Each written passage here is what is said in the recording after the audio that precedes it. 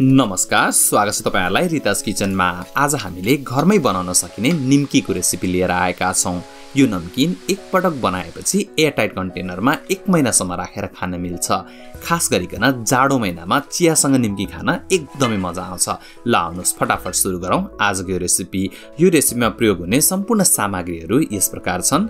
हामीले तिन सय ग्राम मैदा लिएका छौँ। साथसाथै हामीले एक सय पचास एमएल पानी पनि प्रयोग गरेका छौँ। त्यसै गरी हामीले दुई ठुलो चम्चा घिउ पनि प्रयोग गरेका छौँ। साथसाथै हामीले एक सानो चम्चा जति नुन प्रयोग गरेका छौँ। एक सानो चम्चा जति ज्वानो पनि लिनुहोला र एक सानो चम्चा कालो जिरा। यसलाई कतै कतै कलौजी पनि भनिन्छ। अब आउनुहोस् हामी फटाफट आँटा मुस्न सुरु गरौँ। पिठो मुस्नलाई सबैभन्दा पहिला एउटा फराकिलो खालको बलमा सबै मैदा एड गरिदिनु होला अनि साथसाथै तपाईँले यसमा घिउ पनि एड गरिदिनु होला घिउको सट्टामा तेल अथवा बटर पनि प्रयोग गर्न सकिन्छ। अब हामी यसमा कालो जिरा एड गरिदिन्छौँ साथसाथै हामी यसमा नुन पनि एड गरिदिन्छौँ। नुनलाई आफ्नो स्वादअनुसार घटाउन बढाउन सक्नुहुन्छ। त्यसै गरी हामी यसमा ज्वानो पनि एड गरिदिन्छौँ तर ज्वानोलाई एड गर्नुभन्दा पहिला भिडियोमा देखाए जसरी तपाईँको हत्केलामा राखेर यसलाई एकपटक राम्रोसँगले माडिदिनु होला यसो गर्दाखेरि सबै फ्लेभरहरू रिलिज हुन्छ र एकदमै मग मग बास्न आउन थाल्छ।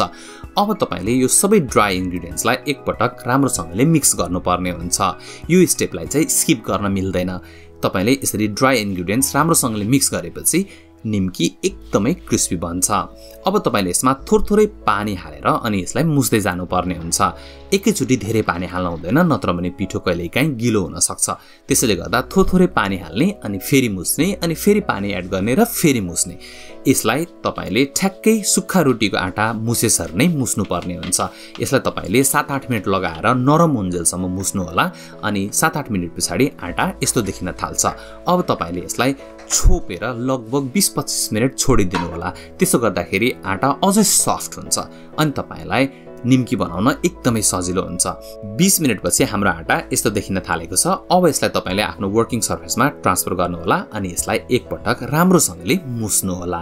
त्यसपछि हामीले यसलाई बराबर हुने गरी चारदेखि पाँच भागमा डिभाइड गर्नुपर्ने हुन्छ। हामीले चाहिँ आज यसबाट पाँचवटा बल्सहरू तयार पारेका छौँ। अब हामीले यसलाई बेल्न सुरु गर्दैछौँ। तपाईँले आफ्नो वर्किङ सर्फेसमा थोरै तेल प्रयोग गर्नुहोला। तेलको सट्टामा सुक्खा मैदा छरेर पनि बेल्न सुरु गर्न सकिन्छ। तर सुक्खा मैदा प्रयोग गर्यो भने तेल एकदमै छिटो फोहोर हुन्छ। त्यसैले गर्दा तेल प्रयोग गर्नै राम्रो हुन्छ। अब तपाईँले यो रोटी बेल्दाखेरि ध्यान दिनुपर्ने कुरा भनेको यसलाई तपाईँले ठुलोभन्दा ठुलो बनाउनु पर्ने हुन्छ र पातलोभन्दा पातलो बनाउनु पर्ने हुन्छ। मैदा तपाईँले एकदमै पातलो हुने गरी बेल्नु भयो भने पनि काट्दाखेरि हल्का बाक्लो हुन आउँछ। त्यसले गर्दा ध्यान दिनु होला यसलाई पातलो हुने गरी बेल्नु होला अनि भिडियोमा देखाएसरी नै तपाईँले यसलाई लाम्चो लाम्चो हुने गरी काट्नुहोला।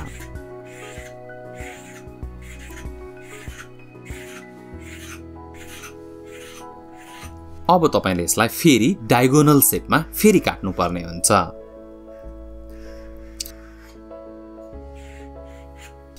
यदि तपाईँहरूले दालमोट कसरी घरमै बनाउन सकिन्छ भनेर सोच्दै हुनुहुन्छ भने माथि स्क्रिनमा लिङ्क आइरहेको छ त्यो लिङ्कमा क्लिक गरेर तपाईँहरूले दालबुटको रेसिपी पनि हेर्न सक्नुहुन्छ।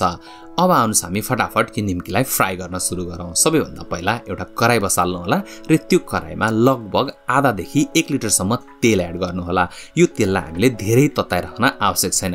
यसलाई हामीले लो मिडियम फ्लेममा तताउनु पर्ने हुन्छ अनि त्यसपछि हामीले अघि काटेर तयार पारेको निम्की तेलमा एड गरेर फ्राई गर्न सुरु गर्छौँ। यो निम्की अहिले टाँसे जस्तो देखिए पनि केही बिग्रिँदैन। हामीले यसलाई तेलमा हालेर अनि चलाउन थालेपछि यो आफै छुट्टिन थाल्छ। तपाईँले आगो सानो बनाएर अनि यो निम्कीलाई निरन्तर चलाउँदै लगभग आठदेखि दस मिनटसम्म तपाईँले फ्राई गर्नुपर्ने हुन्छ। यसलाई बेला बेला चलाइराख्नु पर्ने हुन्छ नत्र भने एक साइडमा पहेँलो हुन थाल्छ र अर्को साइडमा सेतेर हुन्छ।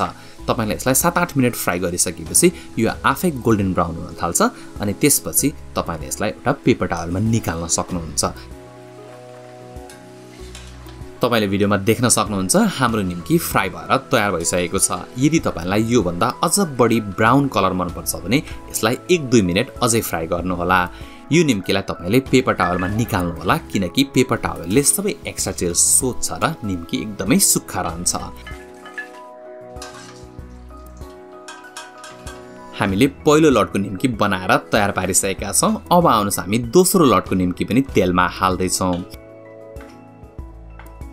यो निम्कीलाई पनि तेलमा एड गरिसकेपछि तपाईँले आठदेखि दस मिनटसम्म लो मिडियम फ्लेममा फ्राई गरेर निकाल्नु पर्ने हुन्छ। यो भिडियो हेरेर तपाईँहरू पनि निम्की बनाउने कोसिस गर्नुहोला अनि कस्तो भयो कमेन्ट गरेर भन्न चाहिँ नबिर्सिनु होला हाम्रो च्यानलको अरू थुप्रै भिडियोहरू हेर्नलाई हाम्रो च्यानल सब्सक्राइब गरिदिनु होला अनि भिडियो मन पर्यो भने चाहिँ लाइक कमेन्ट र साथीहरूसँग सेयर पनि गरिदिनु होला अर्को रेसिपी लिएर फेरि आउनेछौँ। आजलाई चाहिँ धेरै धेरै धन्यवाद।